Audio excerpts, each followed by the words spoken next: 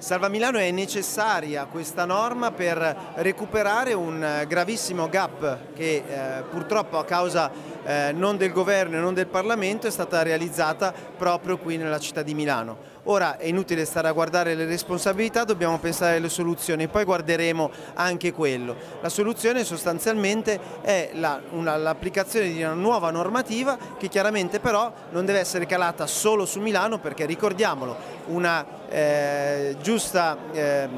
azione del buon padre di famiglia è quella di guardare all'intera nazione, all'intero paese e quindi dobbiamo applicare una norma che salvi, salvaguardi gli interessi di Milano ma che abbia chiaramente una prospettiva nazionale.